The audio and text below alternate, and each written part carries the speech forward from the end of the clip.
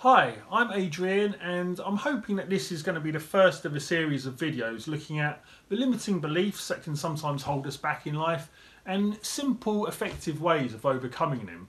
In this first video I'd like to talk about a very interesting mindset reframe which I don't really see written about very much online so I hope you find this video useful.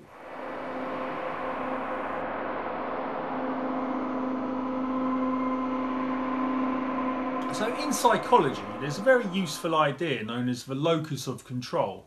Locus is a Latin word meaning place or location. In this context, locus refers to where an individual thinks that the influences of their life lay. For example, does one believe that the influences of their life lay in external chance events, or are they defined by deliberate internal intent? Now there are two loci where we can attribute the influences of our life, either internal or external. Now somebody with an external locus of control, or ELOC for short, believes that external events define them and that their fate is kind of controlled by the whims of destiny. Whereas someone with an internal locus of control believes that they are solely responsible for the outcomes of their life. They ultimately take responsibility for what happens to them, whether that's good or bad. An ELOC mentality is usually adopted by someone who, through past conditioning, feels that they can't take responsibility of their life. They feel that their life satisfaction is a result of luck or fate. This can sometimes be a result of learnt helplessness, which I'll be talking about in a future video.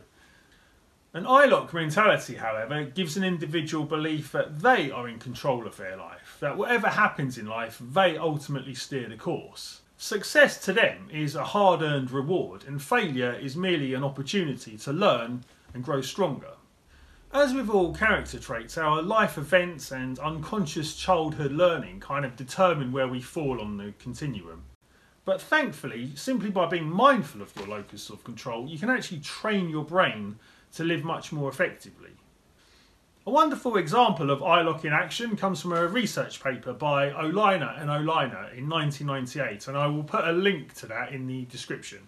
They interviewed 532 survivors of World War II. They found that 406 of the survivors described themselves as having an internal locus of control. These were the brave men and women who not only resisted Nazi instruction, but actually helped prisoners of Nazi persecution. The remaining 126 of the survivors were far more likely to complicitly follow orders.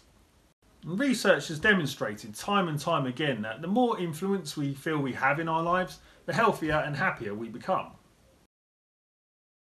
So when you're next faced with a tough situation in life or things don't work out the way you want them to and they're not going to, it might be worth taking a moment just to ask yourself are you allowing external events to control how you feel, or is this an opportunity disguised? An opportunity for you to take control, take responsibility, and ultimately steer the course of your life. Thanks very much for watching this video. I hope you found it interesting and useful. I'm going to be uploading more videos around psychology, philosophy and mindset, so if that's the kind of thing that interests you, please consider subscribing to this channel and I hope to see you again. Thank you very much for watching.